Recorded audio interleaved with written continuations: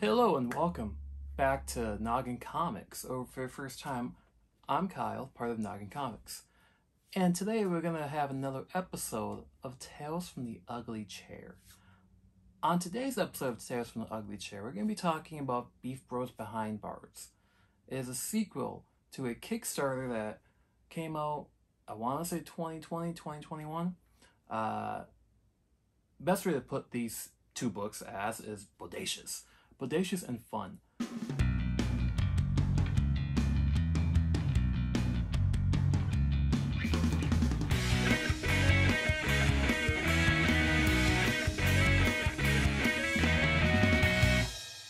You find the characters that, w- that were introduced in Beef Bros. Beef Bros are Ajax and Huey. Uh, one, I mean, both of them are bodybuilding, action packed, 80s influenced, 90s image style characters. But, unlike the 90s comics, this, these issues have a uh, political satire, social commentary, and you have these two characters who basically may look like the stereotypical superheroes and comic books, yet they're very fun living, uh, fun loving. Uh, they just want to eat pancakes or work out and make sure everybody loves everybody. And in Beef Bros Behind Bars, they find themselves in prison because of they were they planted they helped someone plant in a place that planting was illegal, and Huey, Ajax, and the person that they helped find themselves in prison.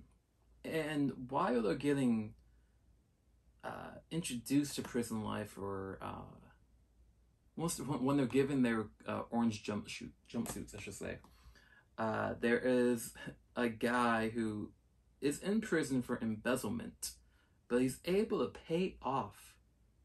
eh, Like it was like a, t- a typical Tuesday for him. He was able to just scan his credit card and leave jail. Where another person who couldn't afford to pay, who was in prison because he couldn't find a job. He was in prison because he couldn't find a job, basically, was basically there for life. And that's the type of social commentary this book isn't afraid to talk about. And it, it talks about it in such a unique way.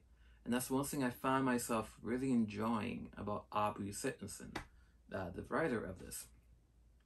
Uh, Aubrey has written No One Left to Fight, uh, the uh, comic book history of professional wrestling, and Stone Master, another Kickstarter he released.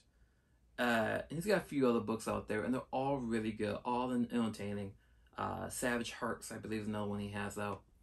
Uh, but to be honest with you, outside of No One Left to Fight, I think Beef Bros is my second favorite Aubrey Sitterson book, and it's due to the fact that Tyler Cannon, uh, Tyrell Callan, Cannon, who is the uh, artist of this, steals the book from him. Uh, some of the artwork in this is just insane. Like, you have this art right here of Ajax and Huey. But then within the first couple pages, you have action like this going. So, I absolutely adore this book. And uh, another YouTuber, Graphic Policy, he talked about this book too.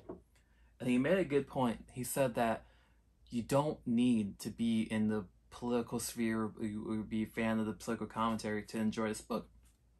And I absolutely agree with him because this is a fun book. Uh, I could read it, and you know, other people who have different viewpoints than I can enjoy this book as well.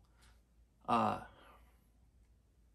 if there was any criticism, I would like to have this book be in the comic shops, honestly. I know it's a little difficult to say this is a crowdfunded Kickstarter, but I would love to see this book on the shelves and see people's reaction to it outside of those who got it on Kickstarter. Uh, maybe eventually down the road, uh, we will tease a third volume. Uh, maybe down the road we can get a collected uh, edition of this. But uh, if you've read Beef Bros, let me know in the comment section. And don't forget that we have a giveaway going uh, currently. uh, through August 31st. If you find the video, Noggin Comics is not dead. Uh, there was a giveaway in that video, and all you had to do was comment.